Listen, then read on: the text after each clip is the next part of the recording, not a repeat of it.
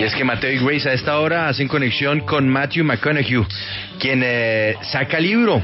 Así que no solamente vamos a hablar de cine, sino también de la propuesta literaria de este gran actor, el hombre de Dallas Buyers Club. Adelante, Mateo, Grace.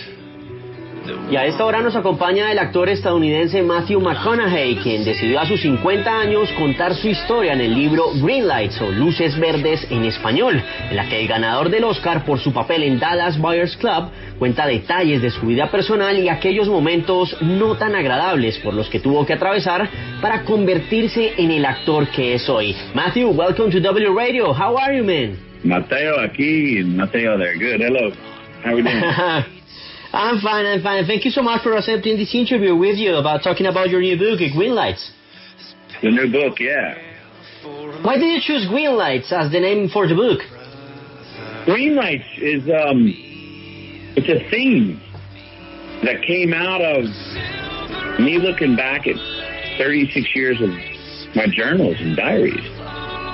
Um, and what I mean by the theme, it's it's I noticed that. Uh, you know, in my life, I had made decisions that created green lights for me in my future. And a green light is this: a green light means go. A green light is, is, is affirms our way. You know, it's a, it's, it's a, solo sigue viviendo. You know, it's, it's, it's onward. We like green lights. They they they we, we are in green lights when we're in our flow, moving forward, and we're on our frequency.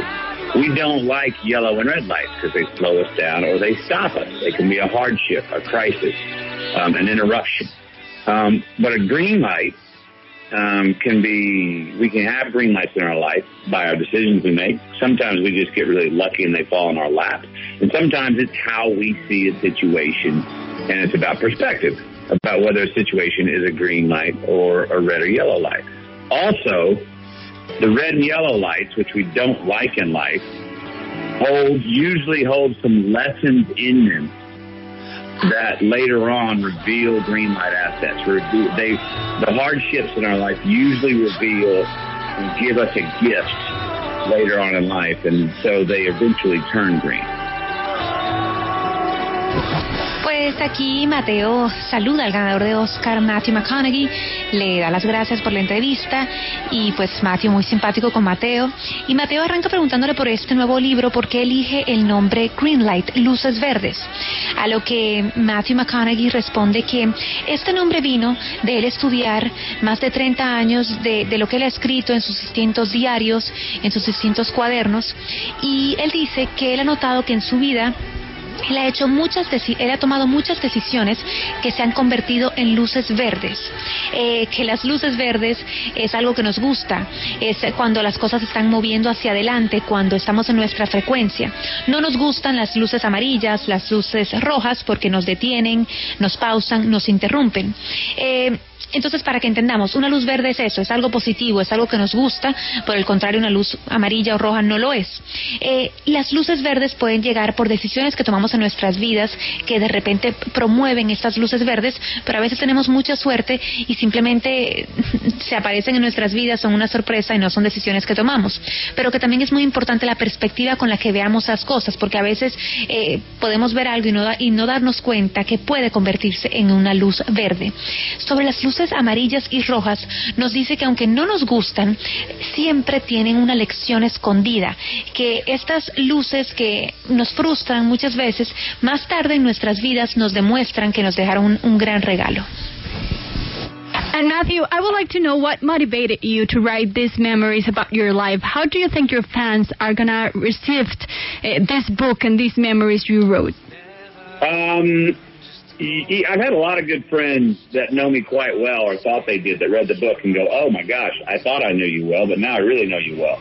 Um, a lot of people said a lot of things in the book are unexpected.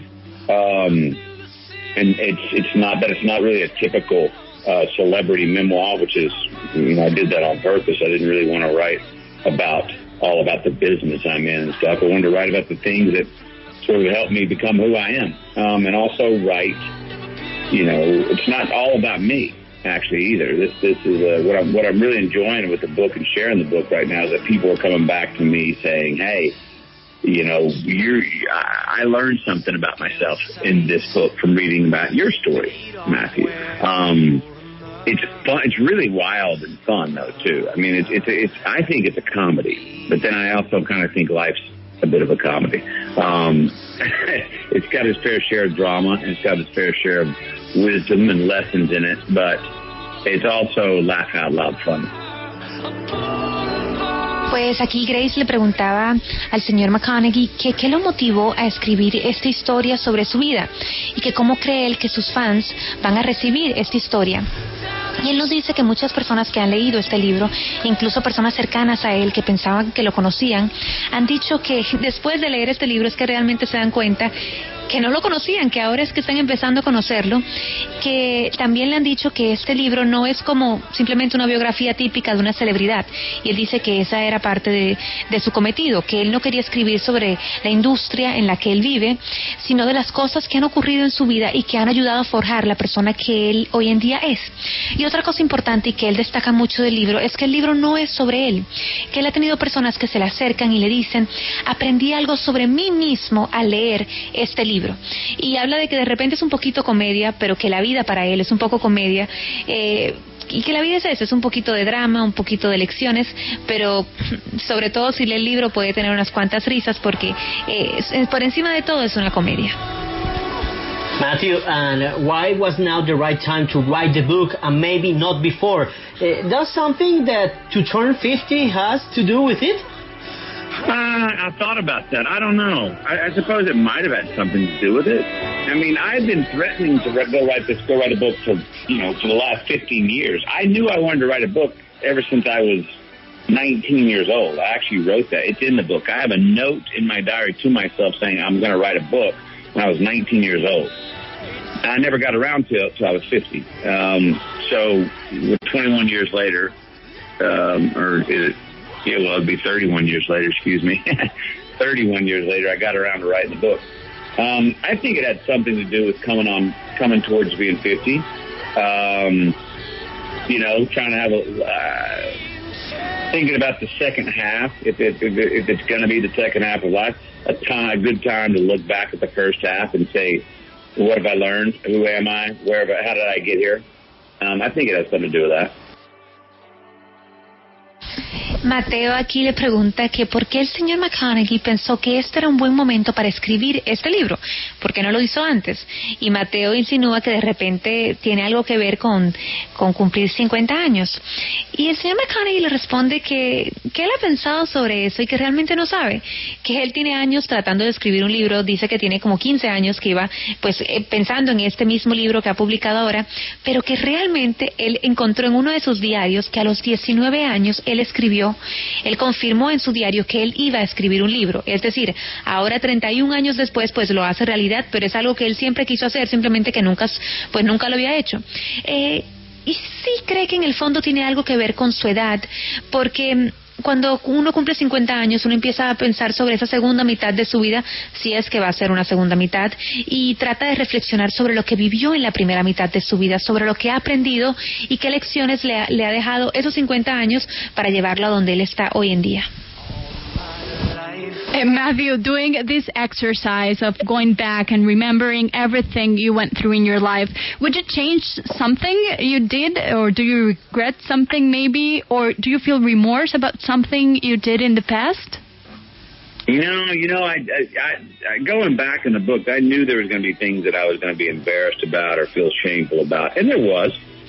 But most of the stuff that I was thought I'd be embarrassed about, I just laughed at.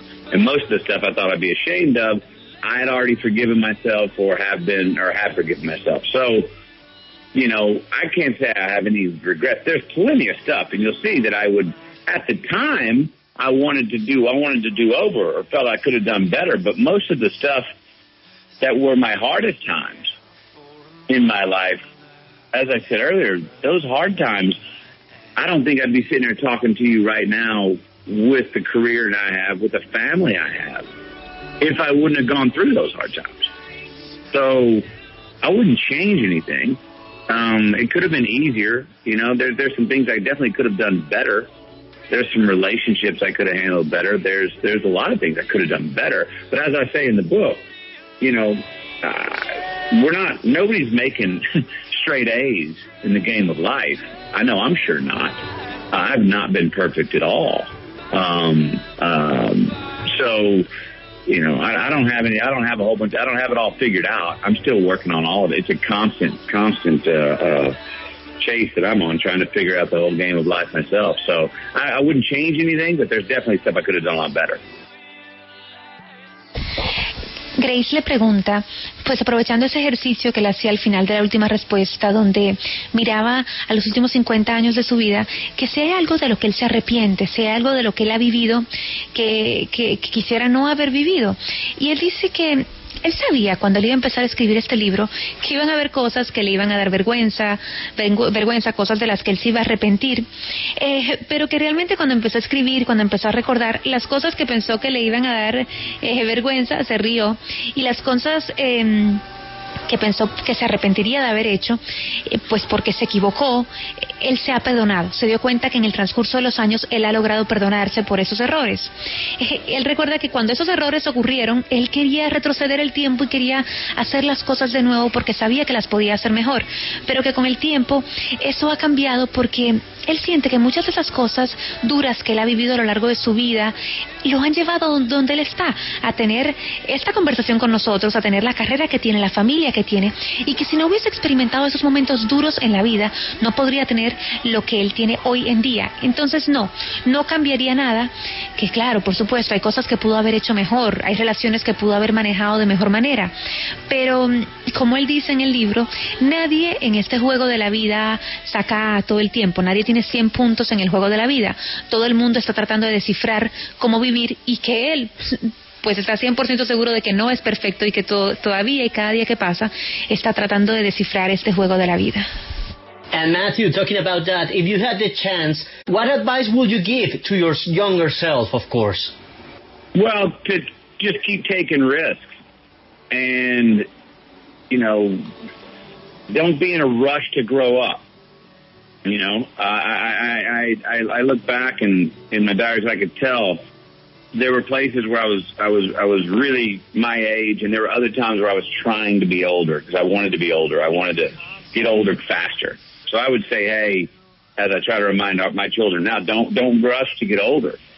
You know, you'll get there. Don't miss this time that you're in, and and that's and, I, and I've been told that by my elders before too, and I, I didn't really listen. But yeah, I would tell myself enjoy the time that you're in. But you know, I was I was early on. I was pretty ambitious as well. You know, I didn't know what I was going to do in life as far as a career, um, but I was ready to go work as hard as I could to do what to what to do whatever it was I was going to do. And I ended up, you know, I was going to be a lawyer, um, and then I ended up changing at the last minute my my my, my college courses to head to film school, and I'm, I'm very glad I did. Um, but I would say keep taking risks as a youth and don't try to grow up too fast.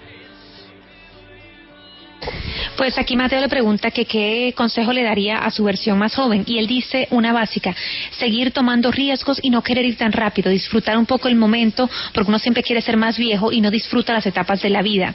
Él cuenta que desde muy pequeño pues él era muy ambicioso, que no sabía bien qué iba a hacer con la vida pero que estaba listo para salir a trabajar y trabajar duro. Dice que iba a ser abogado y que decidió a última hora cambiar sus clases para estudiar cine y no se arrepiente de haberlo hecho. You did something very complex because when you're labeled uh, uneven in Hollywood, it's very difficult to get out of that. How do you change that perception in Hollywood from people and stop being that and become the man that you're now? Right. Well, I mean, to be fair, I'm both. I was, I, you know, I, I had no, I had no problem uh, being in the rom coms and being shirtless on the beach. I loved it. You know, those rom- those romantic comedies that I was doing were paying the rent for the houses that I was renting on the beaches where I ran shirtless. I, I loved it, um, and I'm, I'm, I still am that guy. What happened was I unbranded. I didn't rebrand. I unbranded, meaning because I wasn't doing the romantic comedies, because I wasn't on the beach, nobody knew where I was. But I definitely was not in your living room or in a magazine or in a theater in the way people had seen me before. So I was gone. I was forgotten. By being forgotten, all of a sudden I became a new good idea two years later for the dramatic roles that I wanted to do. So it was an unbranding phase. Mateo le pregunta que cómo logró cambiar, digamos que el título que le había dado Hollywood, pasar de ser pues el actor de comedias el actor dramáticos, eh, dramático, y él dice que, que él realmente es las dos personas, que él no tiene ningún problema en estar en estas eh, historias románticas, en estas comedias, porque eso pagaba la renta. Lo que pasó fue que él no cambió su marca, él simplemente se desapareció, no estaba en las revistas, no estaba en ningún, en ninguna película, y la gente simplemente lo olvidó, y dos años más tarde ese olvido le permitió a él incursionar en esos papeles dramáticos que él quería tener. What's coming up next for you? Are you working on a new project right now? Uh, no movies right now. I'm just I'm I'm working. I'm writing, um, still writing, um, and working on uh, a role that I've assumed called the Minister of Culture in uh, my hometown of Austin, and with my home university, the University of Texas at Austin, um, and working on a shared and competent value campaign um, for the university and the city. Um, and it's, it's a bit of a movement. It's uh, more than it is a campaign. Um, but I believe uh, uh, values are where, where, where, where values are the thing that's going to bring bring people together, especially coming out of this year. Um, if we can agree on on our values, and even if we disagree on our politics, um, if we can agree on our values, which I believe we can, that's uh, going to be the solid stepping stones to get out of this crazy time we're in and evolve as, as people. Well, Matthew, thank you so much for your time in W Radio. It's been a pleasure talking to you, and we hope this moment eh, with all the coronavirus crisis is going good for you as well. Relatively speaking, it's going as well as possible. We're we're uh, we're here with the family and my and my and my mother. So to everybody out there, solo sigue viviendo, and uh, gracias.